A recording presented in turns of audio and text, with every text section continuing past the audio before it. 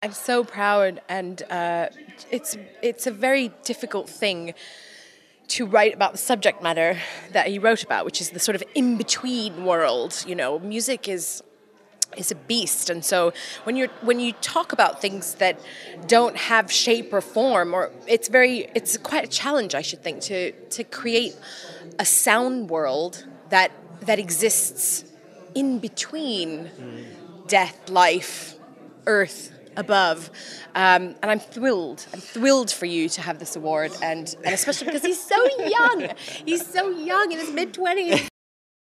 Just had a show last night at Glyndebourne Festival of The Barber of Seville, um, which is a new production of Annabel Arden's. We're doing a prom at Royal Albert Hall on July 25th, and uh, I invite everyone to come down. And uh, we're also filming a BBC documentary, lifting the lid on the operatic process, which uh, you know sounds as complicated as the composing process. So opera is um, hard. Yeah, opera is really hard. There's so many moving elements, and it's a very quick time period to put things together. So we're going to kind of uncover that very intimate and quite challenging process uh, for a TV audience. It should be pretty frightening and terrifying, but also pretty gratifying. I think. I'm really excited.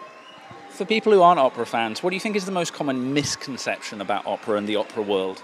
I think that people actually create misconceptions out of their own fear of not quite knowing. So they kind of revert back to some very, very strange archetypes. I mean, I even had a conversation with someone who said, Well, I just don't know about the opera because how would I understand it?